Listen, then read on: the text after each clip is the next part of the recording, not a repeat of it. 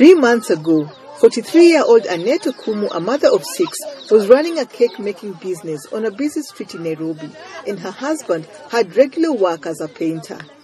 Then Kenya's Minister of Health announced the country's first coronavirus case. Less than a week later, no one was buying cakes from Okumu, and her husband stopped getting jobs.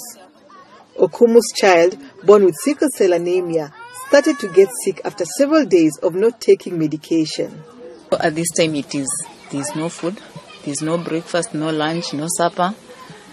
For two days, I wondered what next. Am I going to lose my kid? So when I saw Adopt a Family, it was late at night through social media. That is when I decided enough is enough. Let me speak out. Annette called the number on the Adopt a Family Facebook page. Moses Omondi picked up the late night call and asked Annette to meet him the next day.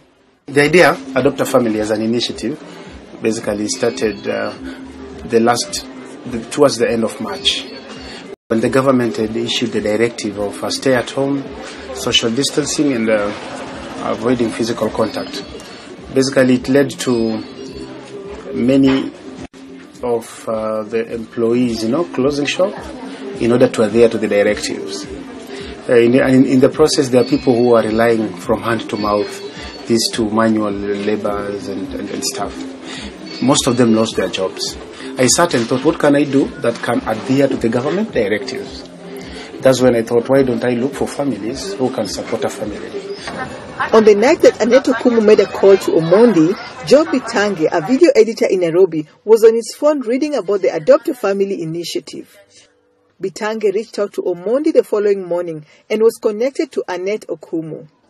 Soon, Okumu's family had their first meal in two days. I decided to support one family by giving them a voucher. And he told me that the voucher that I gave, I gave him was was actually supposed to support the family to feed the family for for one week.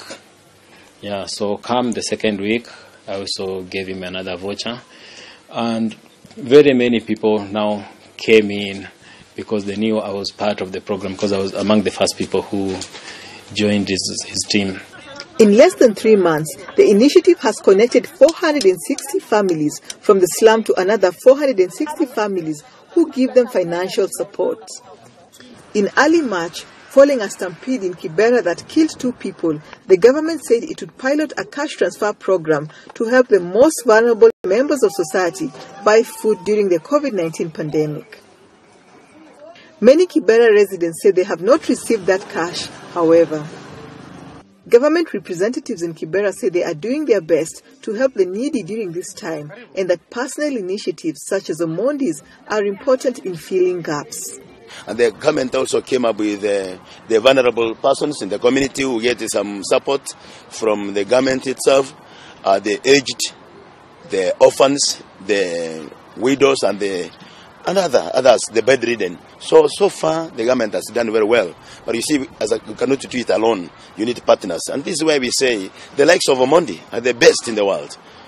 Uh, Apart from direct money transfers, Adopt a Family conducts food distribution drives for needy families. They also run a feeding program for children in the slum where Annette volunteers her time cooking.